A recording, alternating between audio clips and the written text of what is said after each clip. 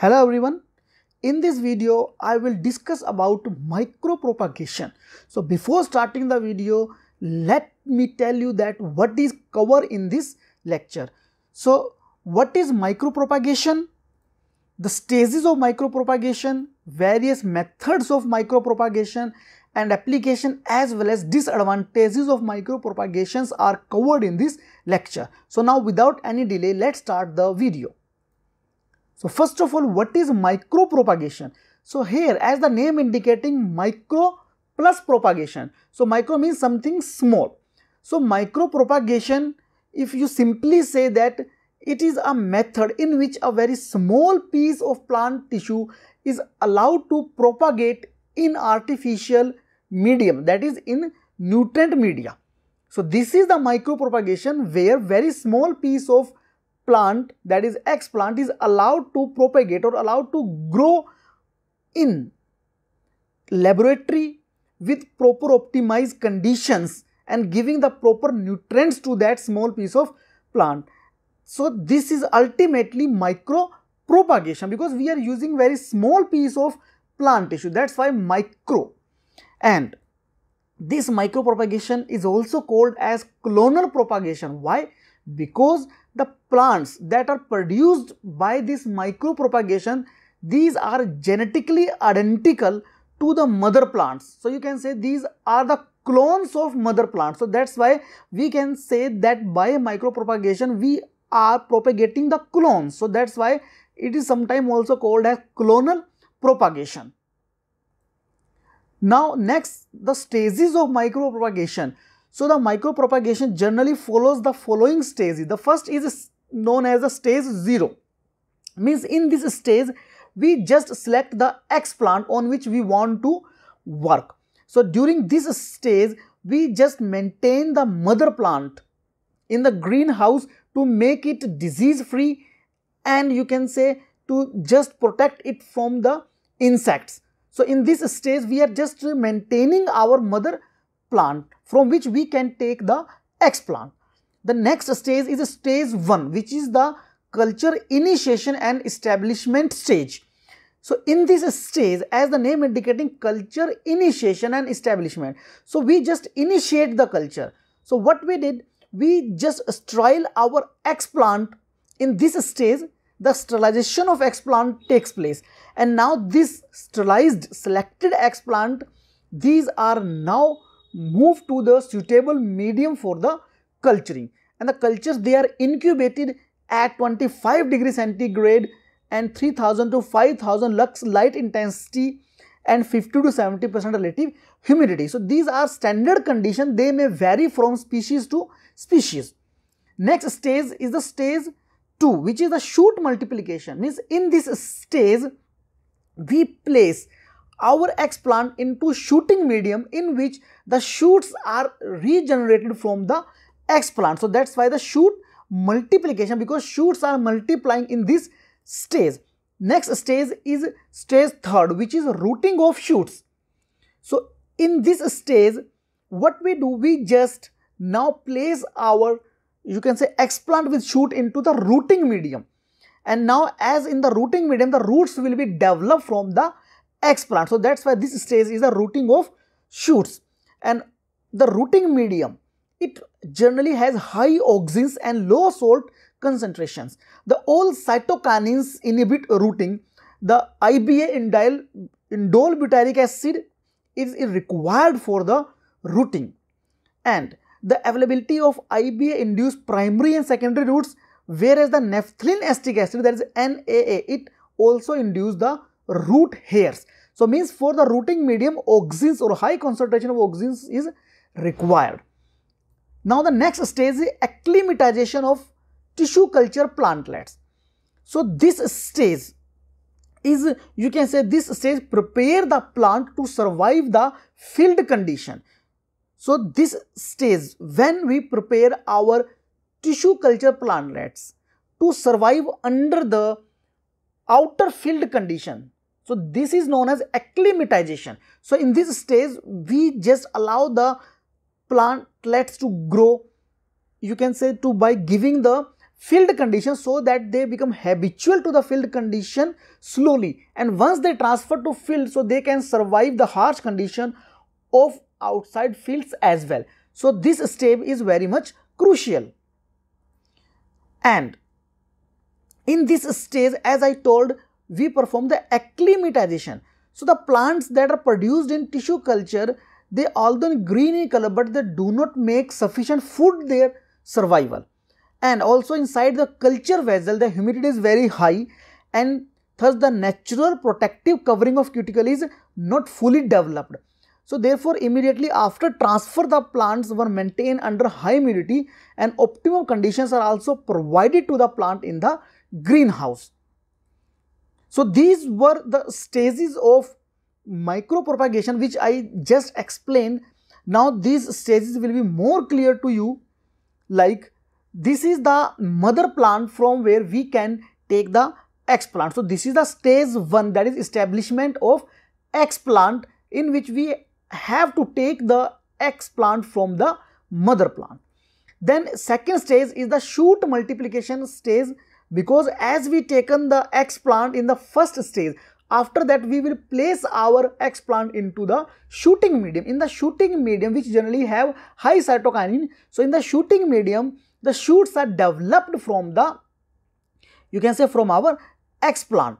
And once the shoots are developed, then the next stage was the rooting, the stage third. So, in this, we now place our explant with shoots into the media that contain the rooting medium which have the high concentration of auxins. So in the rooting medium now roots will be developed and ultimately now we have the plantlets and as the stage 4 was acclimatization. So in this stage we just place our plantlet to the greenhouses or to the pots in which we provide them the field like conditions and so that they can acclimatize or they can adapted to the field condition. So this is the crucial stage because we we have to move our plant to the field condition, not to the laboratory.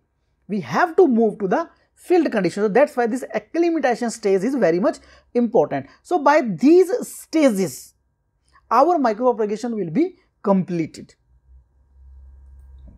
Now, what are the various methods of micropropagation means how you can start the micropropagation propagation. So for this generally we know that the plant cells they have totipotency. What it means that single cell of plant can differentiate to produce the complete plant under the standard or you can say the particular conditions.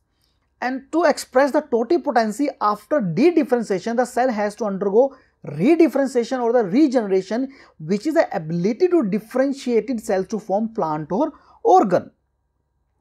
So the micropropagation can be occur either of the following process like axillary bud proliferation approach. So in this approach we can take the bud which is present in the axil of leaf that is axillary bud. So by taking the axillary bud we can also go for the micropropagation. The steps will be same that we will just take the axillary bud place this bud in the shooting medium then in the rooting medium and ultimately the acclimatization.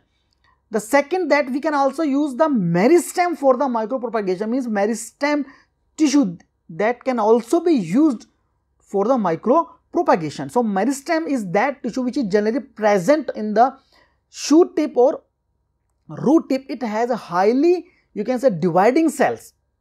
So we can also take this meristem for the micro propagation.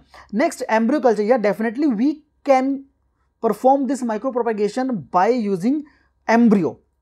And anther culture is also a method of micro propagation means all the cultures which we can start from small parts. So they comes under the micro propagation methods like anther culture, ovary and ovule culture means we can also do the micro propagation by ovary and ovule and definitely we can also use the protoplast for the micropropagation and suspension culture can also be used for the micro propagation and finally the callus culture means in which we just only want to develop callus. So for that we can also make callus by the micropropagation methods.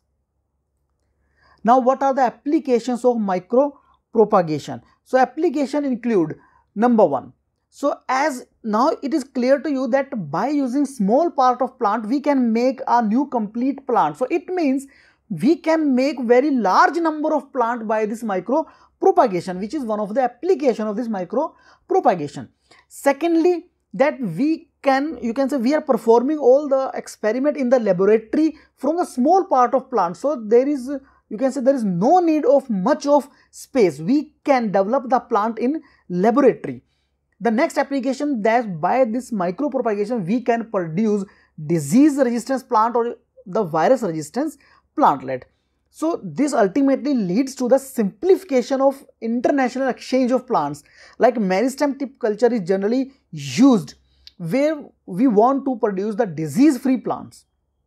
The next application that by this micropropagation we can propagate the sterile hybrids that cannot propagate uh, in the nature we can also propagate these sterile hybrids by this micropropagation. The next application that the in vitro culture that developed through these micropropagation so they can be stored for long time through micropropagation through so through cryopreservation the breeding cycle can be shortened yeah, definitely if you are making plant in the laboratory so within a short time you can develop complete plant so ultimately you are shortening the breeding cycle of plants. The next application that in some dioecious species plant of one sex is more desirable than other sex. Means sometimes you need the plants of only one sex like either male or female. So in such cases the plant of desired sex can be selectively amplified by this micropropagation technique the next application that this technique can be carried out throughout the year means you do, you don't have to depend on the season of a particular plant for its reproduction you can perform micropropagation throughout the year independent of their season. So, this is also the application that you can get the plant throughout the year. The next that a requirement of very less space and human resources are required for this micro propagation and genetic uniformity of the propagules can be maintained through this technique. So, you can maintain the genetic uniformity by this micropropagation means as we are saying it is also called as the clonal propagation. So, you can maintain the genetic uniformity. Now, the disadvantage of micropropagation so the disadvantage include the expensive laboratories needed because you you are performing the plant tissue culture experiments so definitely you will need a laboratory which have all the equipments that may be costly to you the next disadvantage that at each stage of technique, you has to standardize the conditions. So, which is a, you can say tough task. And the poor adaptation to the field is common problem. What it means that the plants produced by micropropagation, they sometimes do not adapt to the field. So, the adaptation to the field is very poor in case of the plants developed by the micropropagation. The next, the mass propagation cannot be done across all crops. Means the micropropagation cannot be used for all crops. Like in cereals, the very little success has been achieved in case of the micropropagation of cereals. The next that you may not get the uniform growth of original plant from tissue culture. Each explant has the different in vitro growth rates and the maturation. Next, the plantlets are susceptible to water loss in external environment. They have to be hardened to external atmosphere. Means the plantlet which are developed through the micropropagation, they are susceptible to water loss when they will move to the field conditions. And in spite of the great care taken that there are chances that contamination will be there. It's a very tough task to control the contamination, to protect the culture from the pathogens. So, these are the disadvantages of micropropagation. So, this is all about that what is micropropagation, how you can perform or what are the stages of micropropagation, ultimate the methods and application and disadvantages. So, this is all for today guys. See you in the next video. Thank you very much.